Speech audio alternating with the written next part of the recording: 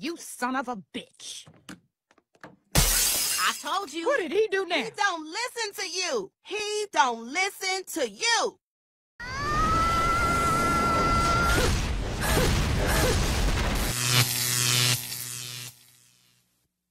Welcome to The Wall. In today's video, we'll be discussing things you need to avoid to have a healthy relationship. We'll look at how a so-called friend is trying to sabotage her friend's relationship out of pure envy, as well as advice from a man who shares what his biggest mistake was in his marriage. We want to invite you to smash that like button and help us reach 100,000 subscribers by the end of the year so we can get our first plaque. That's the only contribution we ask of you, man. Add your grain of sand to the movement. Share your experience in the comments for any man who might need it. And without further introduction, let's get started. I've already said it and I'm gonna say it again. If you are in a relationship, be very careful whose advice you take. If you have a really good friend, but she is low value and you have a problem in your relationship and you tell her about it and she gives you advice, the chance of that advice being low value is like 90%, 95. And if you take that low value advice, you might sabotage your own relationship even more. I've seen it happen so many times and actually relationships or like the the people breaking up because of advice that was taken from a low value friend. If you take advice because you have a relationship problem, make sure it's high value advice. So for example, if you and him have a fight and it's really not your fault, and you talk to your friend about it and she says, Why don't you just apologize to him? Why don't you just reach out to him? That is low value advice that you should not be taken. And that's just a simple example. I think the problematic friend here is you. In my opinion, it's not a good idea to discuss your relationship with single friends. I've seen this a lot with both men and women. Divorced women, party girls, single women, or those who like to cheat on their partners are terrible at giving advice. The same goes for both men and women. It's well known that a woman's worst enemy is another woman because women don't have friends. They have competition. A good friend will speak well of your husband and give you good advice, like what she called low-value advice. Why not apologize? Why not get closer? It's not bad advice. She sees the situation from the outside and can see that you're not in the right. But women often see this as a bad thing. What they want is for the friend to take their side, to tell them that their husband is wrong. All this does is turn a small disagreement into something that eventually breaks the relationship. Watch the next video. It explains this better. My wife and I, we start dating, and all of a sudden, uh, we start having fights. And after we fought, she would always come back a little bit weird. I'm like, huh, interesting. I said, so let me ask you a question. She said, what's that? I said, say we're married. Said, we have a terrible fight. Who are the five people you're going to call? So she gives me the names. I said, okay. Uh, uh, I said, you call these five people, guess who they're going to defend? She said, who? I said, you. I said, let me tell you who my five are. My dad, Dudley, Bill, and I gave the five minutes. I said, if I call these guys, guess who they're defending? You. I said, in order for marriage to work, the five people I call when I'm pissed off, they have to defend you. And the five people you call, they have to defend who? Me. Wow. Which family should have said what? Listen, guys, you guys go make it work. That man works hard. That man's your hey, look at your wife. She cooks. She takes care of the kids. There are things Stop. bigger than this fight. exactly. Yeah, they give you context. Yes, so that was the one thing, and then she went and got their five. Said, okay, now I'm comfortable. I hope that when Michaela finally meets David, she'll just change her mind about him and just realize that David and I are made for each other. So I've heard a lot about you, David. How have you liked being here so far? I've been having a great time with uh, Evelyn, Evelyn's family. You were friends with Evelyn for a long time, right? Yes. Okay. Yeah, that's cool. The second Michaela showed up, I think David kind of shut down, or at least put up some kind of barrier, some kind of wall that he was obviously expecting her to be cold. I did hear like you weren't really a big fan of me coming. Um, not exactly. There's your age for one. Eight and a half years is substantial, especially with Evelyn only being 18 years old. I just feel like you could trust my judgment. I trust your judgment, Evelyn, but I don't know David, so I can't like someone I don't even know. Why? So this is David's welcome party. Did you just come to like judge him and size him up? No, I came because you invited me to come, and Well, I I want. want, I want you guys to be friends, Oh, or at least like each other. I'm happy you're here. It makes Evelyn happy, but because I don't know you individually, I like to wait for me to see how I view someone's character before I'm automatically good friends with them. I don't want this to cause problems for us. And if you don't like David, then you're disrespecting me. Michaela seems to have an attitude towards me. It's my welcome party when like everyone is happy about me being here. She bringing her concerns up. I was a little bit disappointed. I haven't given you any reason to dislike me. So far, I felt welcome by everyone except you. I'm just hesitant with how things, how fast things are going. You're not really financially ready for all of it yet. Finances are a big thing that Are you dating someone currently? I am not. Okay. It's just like you sound like someone who's not dating anyone. David was definitely a little aggressive and he made the comment about me being single, and that really upset me. I just want to make sure she's happy. And if that's with David, that's great. But I want them to, instead of just brushing me off, to really actually think about what I'm saying instead of just not caring my opinion. Stop talking about your relationship to other people. When you get married, form a two-handed circle. Mm-hmm. Don't let nobody else in that circle because they. don't- If you let your mama in, she gonna mess it up. You can't let your friends in; they gonna mess it up. Form a two-handed circle. Don't let nobody in it. Did you see what I was talking about? The single friend wanting the other friend to be in the same situation as her. Why? Out of envy. Seeing that one friend already has a relationship that she hasn't been able to break, and now the other friend who was in the same situation has found a partner, she clearly feels it will be even more obvious that she's the single one in the group. What is she doing? Sabotaging the new relationship. Women don't have friends, they have competition. In most cases, that so-called friend is just envious. Analyze your friends. Not all of them have good intentions. That's why I don't support speaking badly about your partner with friends. If you need advice, go to the person with the happiest marriage you know. They might have gone through what you're experiencing and will give you good advice. But avoid going to your mother, sister, or cousins. Never damage the image of your woman in the eyes of your family or friends, because in a moment of anger, you and she might forgive each other, but your family might never forgive her or might hold ill will against her. This applies to both genders.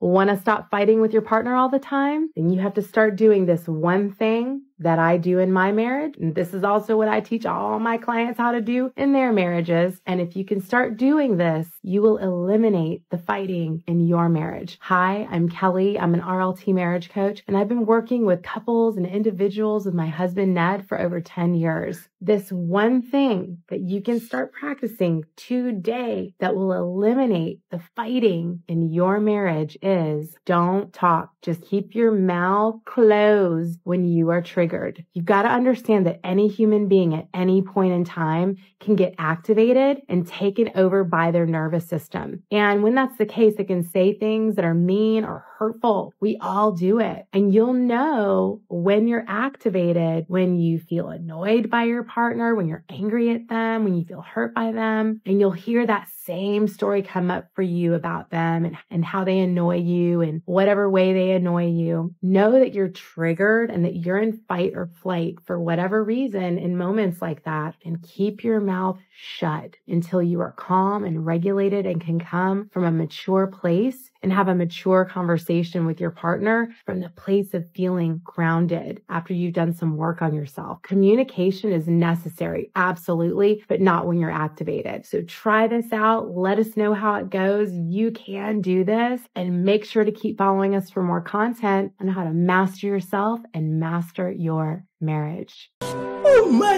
God! Wow! You see, this is really good advice. I have a friend who, when an argument with his wife started to get heated, would walk two blocks away. When he came back, he would approach the conversation from a calmer perspective. He said that if he acted explosively in the moment, he might say something he would later regret. This is why men are often advised to read books on Stoicism.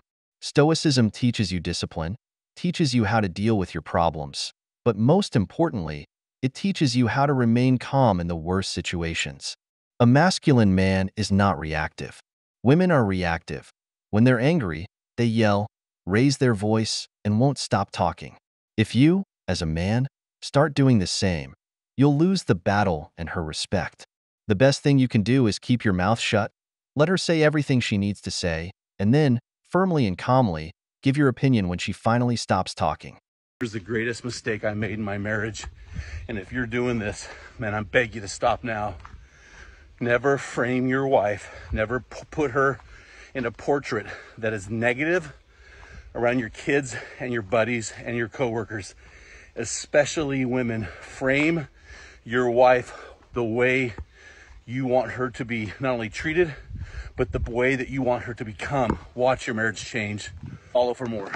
What do you do if you have a partner that brings in other people's opinions into your relationship? You got to tell your partner to knock that shit off. There's nothing that pisses me off more than that. The relationship is between you and me, not me and five other people. I've been in situations where other people's opinions were always being put into the equation. Oh, well, this person said it. I don't give a fuck. I don't fucking care. It's irrelevant to me what somebody else's opinion is of your relation of my relationship. And it should be the same for you. Like stop talking to people. Like, stop talking to people. Stop getting people's opinions. They have no idea what's going on. Oh, well, my friend said blah, blah, blah, blah. You, I've never even met them. What an ignorant idiot to think that. When somebody comes to me with a problem and they're talking about two people, I'm like, yeah, that's great, but I don't have both sides of the story. Like, dude, that's just common sense.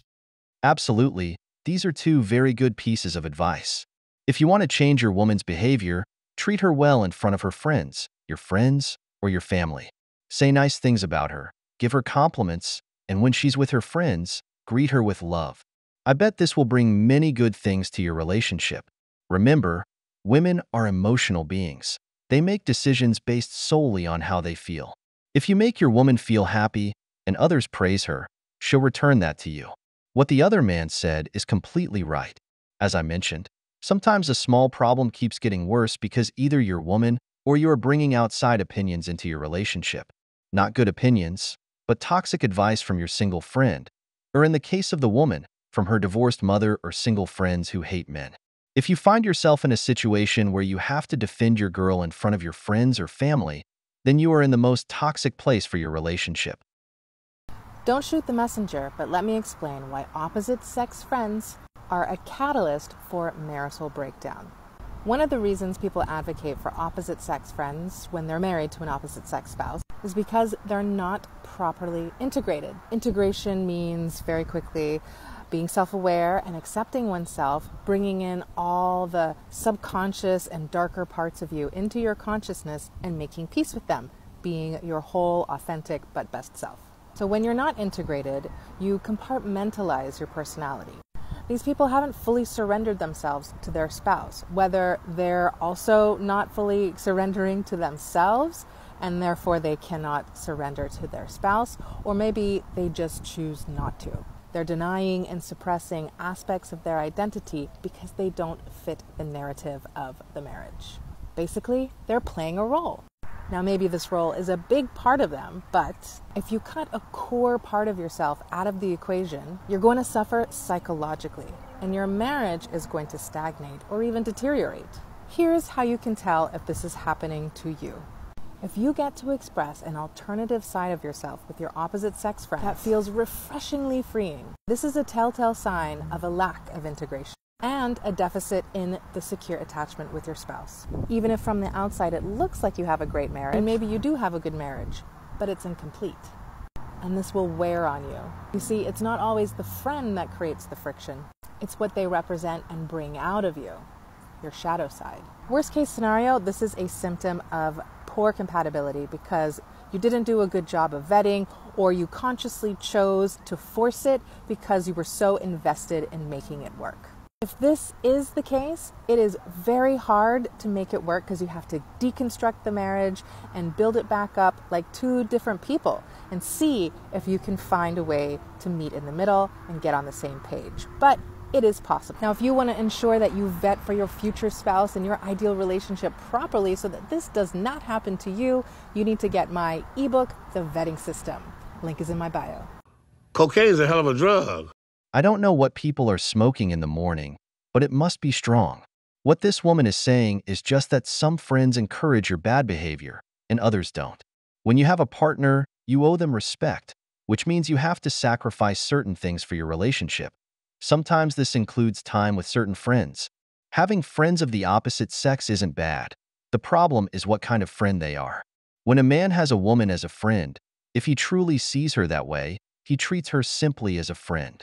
He won't pay for things for her, won't be doing all sorts of favors, and doesn't have any responsibility toward her other than being a friend.